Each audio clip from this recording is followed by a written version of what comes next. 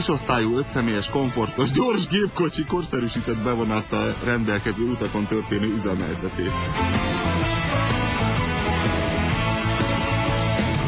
Igazi történelmi aura, legalábbis számomra, hiszen körülbelül 10 évvel ezelőtt épp egy ilyen autóban kezdődött autós újságíró pályafutásom, és már akkor megtudhattam, hogy hát ez egy elég rögös szakma, hiszen napról napra különleges autókkal találkozik az ember, és különleges forgalmazókkal, akik aztán sértődött levelet írnak a szerzőnek. Ez a forgalmazó egy Máté László közeli ö, cég érdekeltségébe tartozott, az a cég pedig a szovjet államadóság lebontásában jeleskedett, és mint ilyen egy 10 millió dolláros pályázatot nyert meg, tehát Magyarországra 10 millió dollár értékben érkeztek Moszkvics Alekók, ami hát egy eléggé döbbenetes adat, hiszen 10 millió dollárt annyi jobb módon lehet elkölteni, mint mondjuk akkori árfolyamon számolva két-három ezer alekóra, de hát akkoriban nagyon érdekes egyéb tételek is voltak az államadóság lebontásában.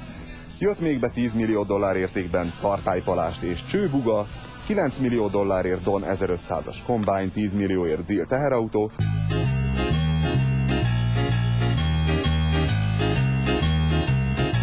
mai szemmel korszerű formatervnek tűnik-e, igazából nem tudnám megmondani. A 90-es évek elején még akár tűnhetett ez korszerű formatervnek, legalábbis akkoriban arra gondoltunk, hogy az oroszok mennyire nagyon igyekeznek, hogy valami nyugatias formát találjanak, és tulajdonképpen azt is találtak, hiszen ez egy 1975-ös Simca 1307-esnek a licencát, ugye az oroszoknál ezt sose lehet tudni, hogy fizettek-e érte, de hát minden esetre ez egy Simca 1307-es, ami 1976-ban lett az év autója, és hát jellemző az oroszok tempójára, hogy pont 10 évvel később 1986-ban kezdték gyártani.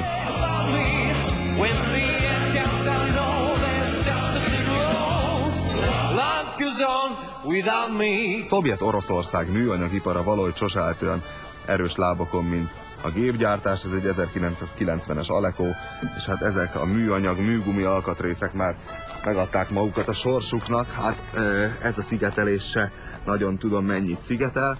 Aztán ez a baloldali első lámpa már olyan, mintha a búra mögött valaki hörcsögött tartana, és az lenne az alom, de ha valaki pont a búrát nézi, akkor egy megint egy nosztalgikus részletet láthat, ezt nem a Bakony műveknél gyártották, hanem DDR, az NDK-ban és Rula gyárban volt is, emlékszem, Rula karórán, és később, legalábbis az ezredforduló körül már számos nyugati alkatrészt szereltek az Alekóba, többek között Hella lámpákat, két literes Renault-tól származó benzinmotort és 1.8-as Ford dízelt, de akkorra már sajnos törlesztették a szovjetek az államadóságot, tehát olyanokból nagyon kevés került Magyarországra.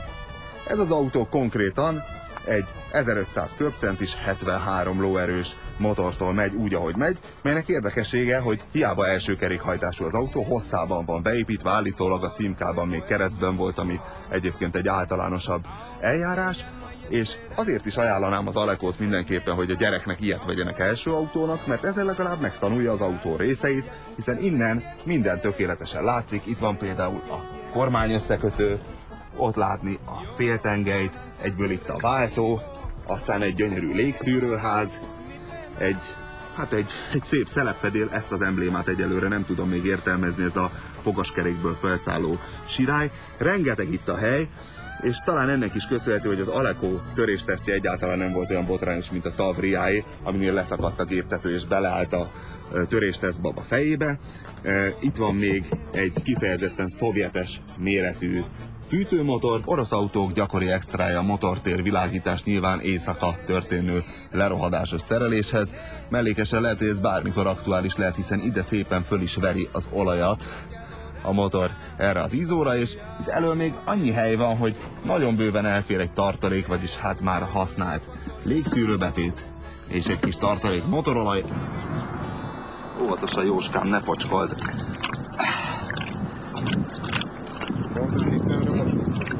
Hova mossam? Most, hogy bemosakodtunk, lássuk a lenyűgöző menetdinamikát. Nagyon hirtelen nem merek azért elindulni ilyen 3-4 ezeres fordulatról, mert az az érzésem lenne, hogy kiszakad az első futómű, de azért nézzük, mire vagyunk képesek. Padló, padló! És lassan elértük a 60-at. Jaj, 4000-et, 4005-nél úgy érzem meghal. Már karcoljuk a 90-et. És már nagyon vészesen közeledik a, a, a, a, a száz. Oh, megvan a száz, és akkor már tényleg ne hagyjuk annyiban. Az a baj, hogy most egy kis emelkedő lett, és hát négyesben padlón. Kicsit visszaestünk 95-re.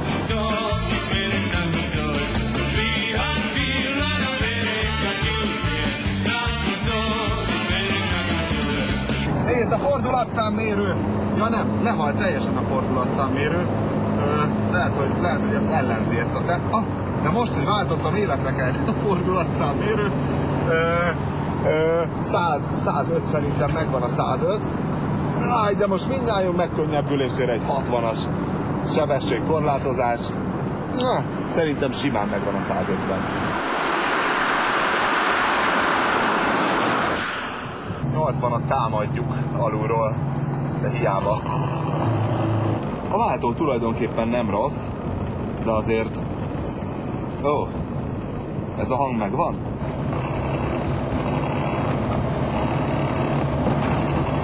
Működni működik, és tulajdonképpen ez tényleg nagy autó volt akkoriban. Nem véletlen, hogy elég sokan ezt választották. Konkrétan az árfolyamokból az 1995-öseken tudtam utána járni, akkor egy alap-alap-alap Suzuki Swift került 1 millió 114 ezer forintba, egy Aleco viszont 800 ezerbe, és hát lényegesen tágasabb és kényelmesebb, mint egy Suzuki.